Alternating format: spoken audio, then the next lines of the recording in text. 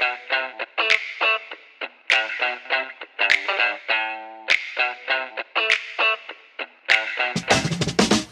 大家好，又是我。嗨，欢迎来台南吃货日常。看到台，看到开始会又知道我们又来到了台南。没错哎我们制霸台南的计划似乎已经快达成了。我们今天来到家里，对，来到家里，因为其实我每次发台南影片啊，底下就有人说敲碗家里，敲碗家里。因为家里超多超多美食。对，来了，各位家里的朋友，我们来了，你们在家里看，我们在家里吃，好不好？对对对对我们第一家到了，就是家里肉圆，就是爱吃会一直跟我讲说什么很早卖完，很早卖完。哎，真的，在地人自己留言，是不是这间卖完八点九点就卖完了？他每一次都这样骗我，没有他每一次都跟我讲说很早卖完，然后结果每次一来，想说，哎，怎么还有？不是，他真的很扯，他的那个塞过美食运，美食运特别好，好不好？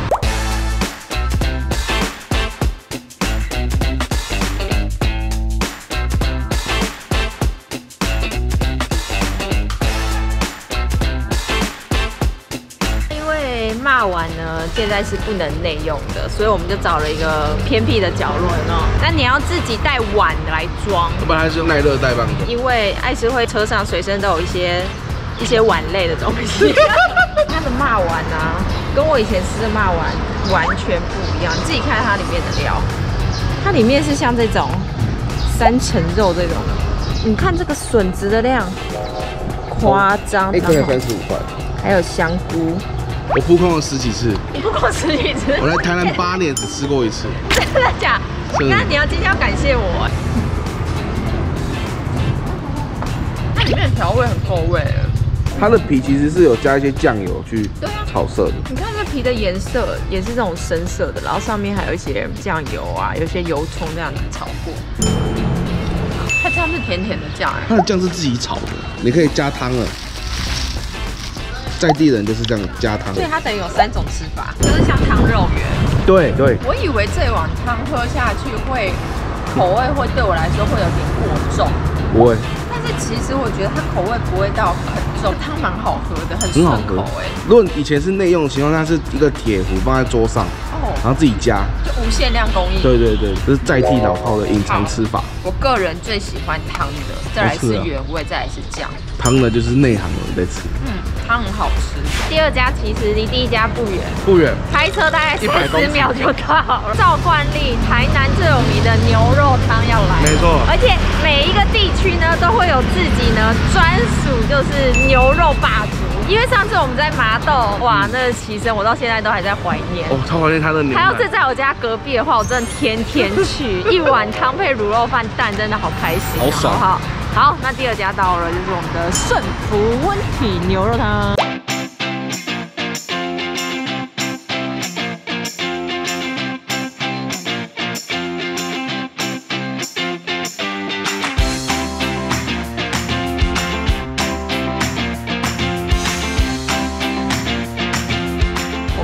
的牛肉他来了，今天有专业的打工师，谢谢还有家里在地人的陪伴，家里小开，家里小开，家里开丝木鱼。好啦，没事啦，是木鱼公主。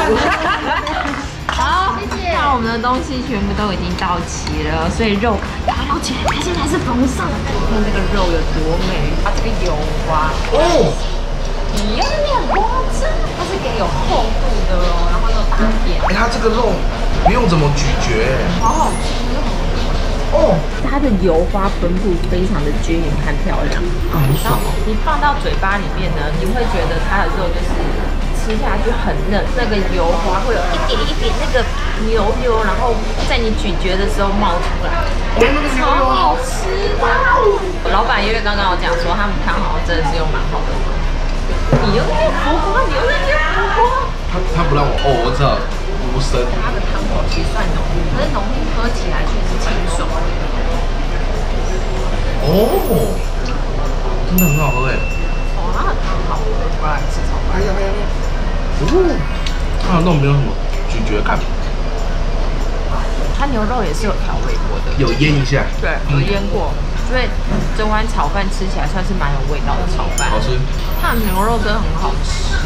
大家如果来家里的话，一定要来这家店，就是喝牛肉汤。他们现在还有宅配，老板刚刚有说他们用的肉是顶级的肉，是还有宅配的肉是顶级的肉。所以其实你宅配回去煮的话，也不会太老。原来我们点的是顶级牛肉汤，难怪吃起来感觉这么不一样。不一样因为它小碗都要就要三百块了。一般的牛肉汤是一百六，那个炒饭那一盘是三百块，对一般是两百，然后它再加一百块的肉。我们今天是走一个就是高级路线，因为有哦就是有小有小开开在跟着我们。那下一家呢，我们就来到了家里的中山市场。第二间的霸王，就是这两家霸王的风格是完全不一样，不一样看你喜欢吃哪一个。那这间是在地人才知道的。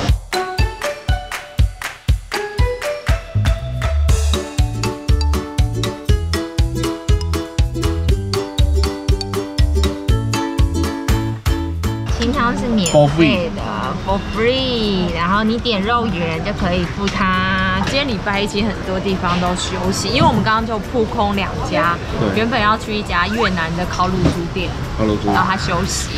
然后还有一家是水煎包店，它也休息息。这个肉圆长得就比较像是我们一般熟正常式、看到正常看到熟式的肉圆了。然后你会一直听到一个很尖锐声音，那是因为这菜市场里面有人在磨刀子。市场日常啊，那这个肉圆呢，就是真的跟刚刚的家里肉圆不一样它真的比较像是就是彰化那边的肉圆的感觉，嗯。因为它外表会炸的，就是有有点边边有点焦的脆脆的，有没有？所以你吃的时候，你可以吃到那个里面跟外面口感的那个落差。对对然后它的肉非常厚实的，就是整个瘦肉这样子，笋子没有到非常的多，因为我觉得它这个感觉是皮是主角，它里面的肉跟皮会形成对比，然后笋子在旁边就是。你咬的时候会有一点点脆脆的配角这样子，对对对因为我觉得刚刚那个它是每一份每一种都给你很多，我很喜欢它给我非常多的香菜跟非常多的就是蒜，我香菜就是超赞。我就是喜欢这种把自己嘴巴弄得很臭。我个人的话会比较喜欢加一些，因为它一肉圆三吃，风格比较风格不同。不一样吧？我们肉圆在这里，你就这样子顺着走过来。这间店有这间超好，吃，台南版的薯条三兄弟，所以是吃薯条，没有吃的藕龟酱，所以我们有芋头、地瓜、薯条，没有就只有芋头。那就不是薯条水兄弟。那薯条大哥，薯条小弟，就是芋头，它就只有芋头，你它只有藕龟挑，所以就只有芋头。你带吃就知道了啦。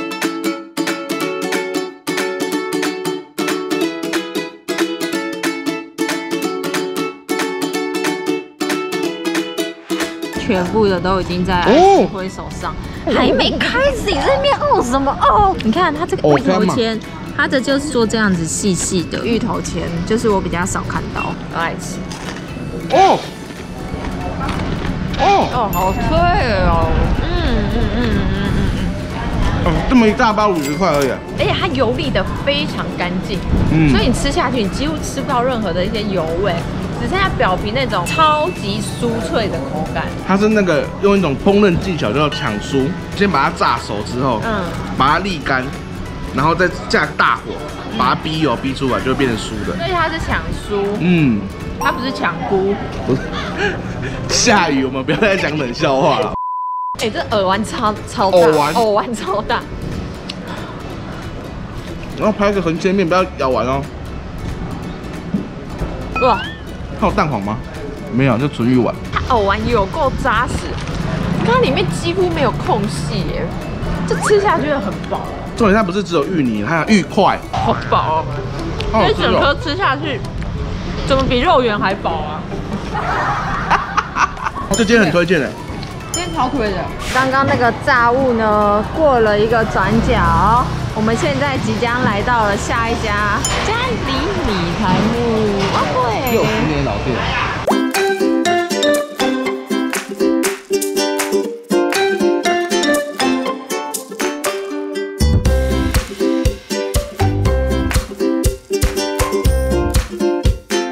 我们的米台木来了。好适合当早餐哦。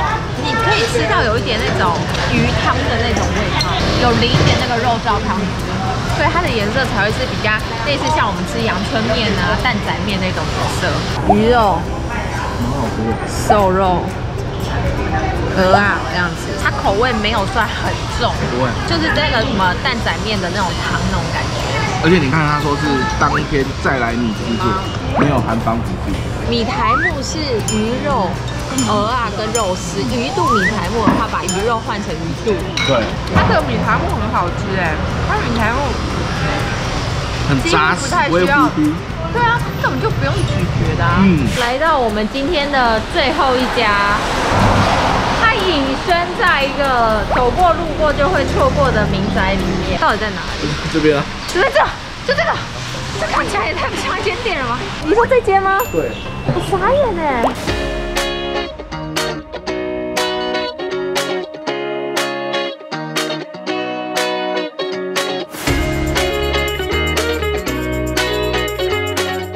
我的那个雪奇冰，它这样一整杯的，然后给你十分满，有看到那个这个满的程度？你看表坚固的面张力程度，哇哇哇！哎哎哎哎，香蕉冰的味道很明显哎，很清爽。你吃了很多油腻的东西的时候，你再来吃这个，你就会有一种很解腻感觉的冰。因为你看它没有加任何的料啊，它非常的单纯，蛮解渴的。蛮好吃的啦。嗯，因为它糖度不高，花生冰棒。哎、我这个这个粗度，哦，你要照平常讲，很浓很浓的那个花生香气。真的哦、所以它里面不是有颗粒的。没有，哦，好吃哎，那这个这个蛮好吃的，这一根十几块，十五块。再来就是这个鸡蛋牛奶冰，现在也好少吃到鸡蛋。鸡蛋牛奶，它不像我们，比如说我们吃那个月见，有没有？嗯会有那种蛋的味道，不会，这个就还好，一点点的奶味，它吃起来感觉是清爽的吗。清爽啊，蛮好吃的，不会很腻口。这间开三十几年了，这间我第一次来的时候也是在地人带我来的，哦，这边根本不会有人，完全不会。你知道这附近就是就是住。家一般的住家。那今天非常突然的家旅行，奉劝大家还是尽量不要礼拜一去观光区，大部分都休礼拜一，然后所以我们今天也是有扑空了好几家。反正艾斯会在的一天，他就会纠缠我到，就是我。不好讲了，我不要，我不要，光想到就怕，好不好？好啦，如果大家喜欢家里的话，底下留言，拜。拜拜。哎、我偷偷跟你说，我没有吃过这间，我是刚才看到很多人排队，然后刚刚上网 Google 说好多人推荐这间。难怪你刚刚吃了就一副第一次吃到的。你小声一点。